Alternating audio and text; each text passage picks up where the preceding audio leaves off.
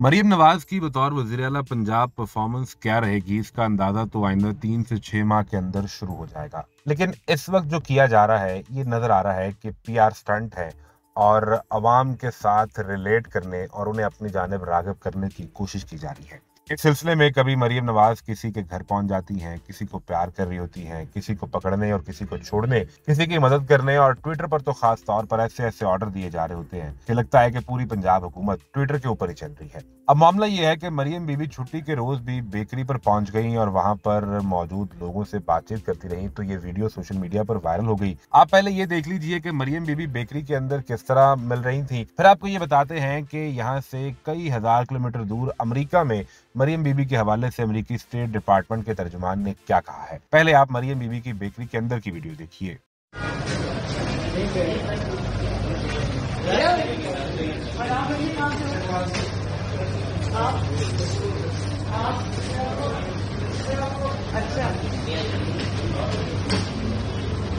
اور آپ بتاؤ نا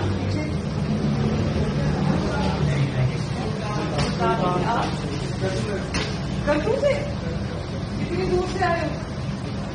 کام کے لیے آئے ہو؟ دوبارہ ہو جاتا آپ بتاؤ۔ ہاں؟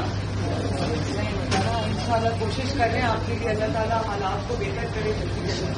میں کیا کر سکتی ہوں آپ کے لیے؟ جی؟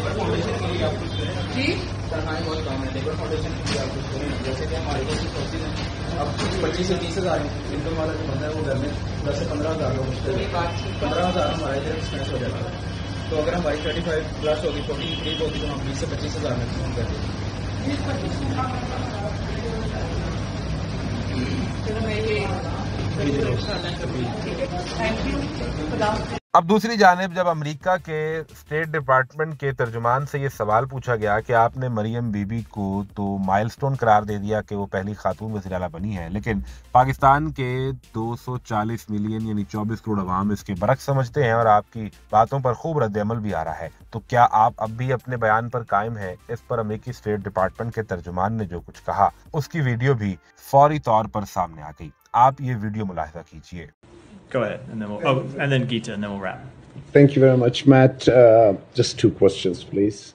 Uh, one question is, uh, I want to give you an opportunity. You had uh, again called Maryam Nawaz a milestone, and in 48 hours, half a million people in Pakistan have said that Matt should take this milestone statement back because her father was corrupt, came her name in Panama Papers. She has been accused of corruptions, and you are calling her milestone. So, the, I, I mean, I do not get half a million. I, I do not have any update on my comments. Okay, Uh, second